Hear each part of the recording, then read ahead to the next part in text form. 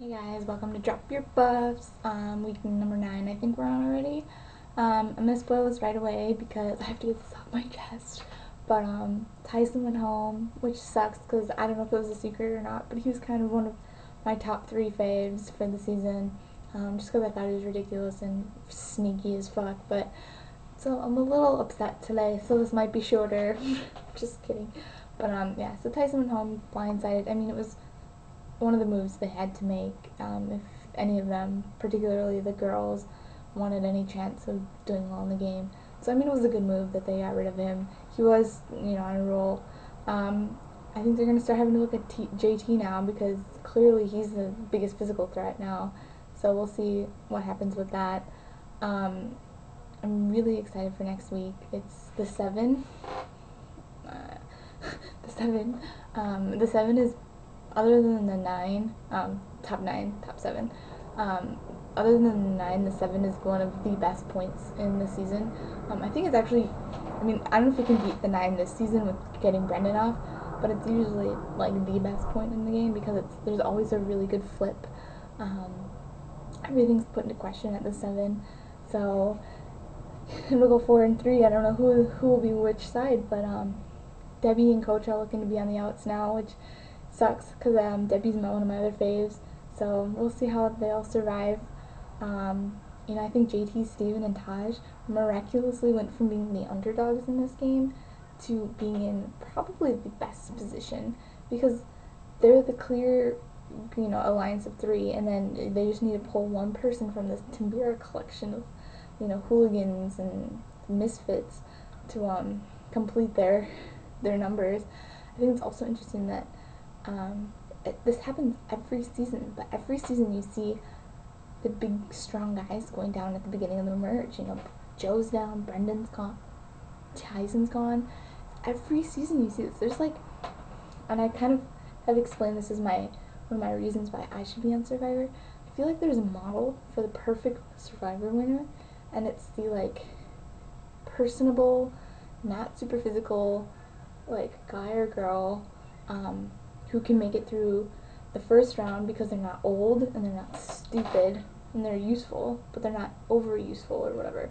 So like they're not going to be the old person necessarily that's going to go first. They're not the super annoying girl who just is like a bitch to everyone. Candace, for example. You know, they're not failing in challenges like Spencer did. So as long as you can kind of be useful and make it to the merge, you're set to be in the top five. It's like a model. And then because when you hit the merge, you know, you're going to get rid of all those people who are the threats for the immunity, the individual immunity. So, like, Brendan's gone, Tyson's gone, and then who are you left with? You're left with people like Erinn, Debbie, Stephen. They're like in the middle. And so, I mean, if you're one of those people, I recommend you apply for Survivor because your chances are better than just about anyone. So, it's very interesting. Hmm. hmm, hmm, hmm. Um, I think what's gonna happen next week. The seven, I think, unfortunately for Timbira, their days, are numbered. I think coach is pretty much screwed at this point.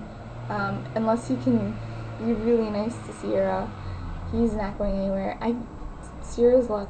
I clearly she didn't know what was going on with the Tyson thing. She just was writing his name down because she hated him. I mean, if if they told her clearly, she could have used that as a bargaining tool. But um, yeah, I mean, I have no idea where this is gonna go. I kind of don't want to win. Um, I just uh, like I don't really like any of them as much. I'm not drawn to them, and I don't know why. There's nothing wrong with any of them. Um, but yeah, Taj can care less. JT seems like a nice enough guy, but he kind of seems like he's been playing people a little bit more than it's showing. And Stephen is just I mean, Stephen of the three is my favorite, and he's in such a good position. I kind of just want to see him get blindsided.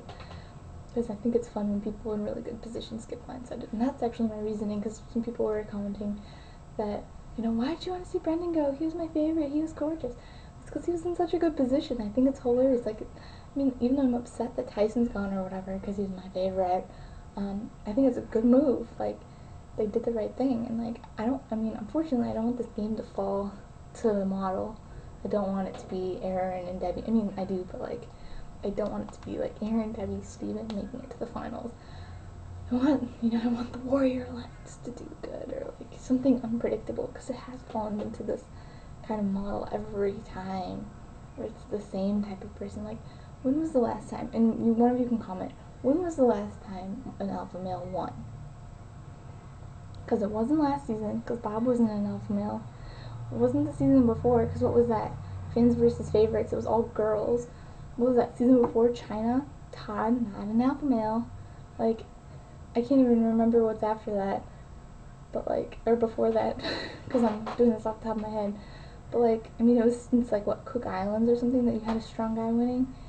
So it's just interesting um, how this model's kind of come up in the last few seasons. And you kind of saw it in the early early seasons too. Not as much because they didn't really understand the concept of an alliance. Um, funny story actually. I was watching Survivor Borneo, which is the first season that they ever did, Richard Hatch.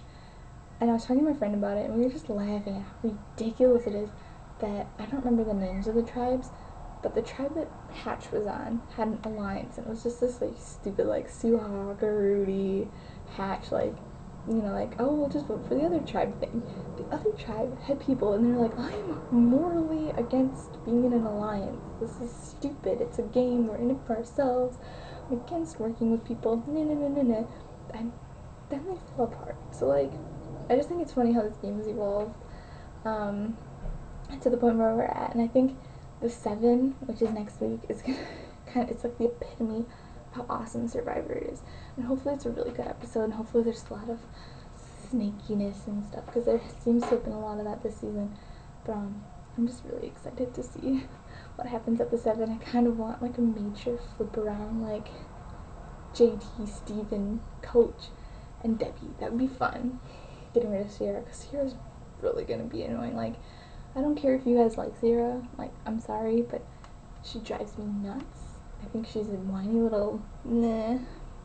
And, um, she really did just need to roll over and die.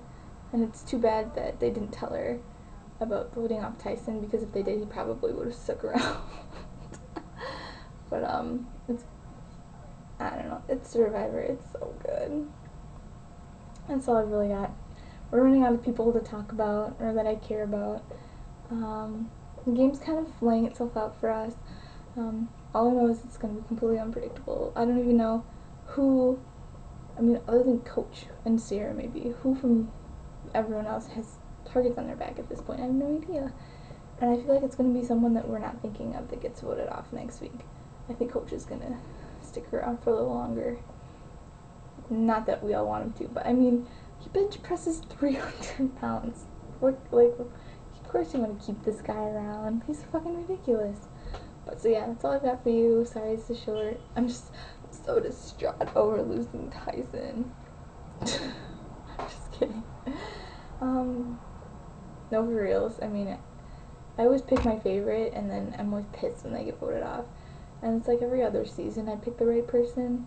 Like I got Bob, I got Todd in China. Like, hmm, every other season. So maybe next season I'll get the right one. The fall ones I do better than the spring ones because I get a little overzealous in spring and pick ridiculous people.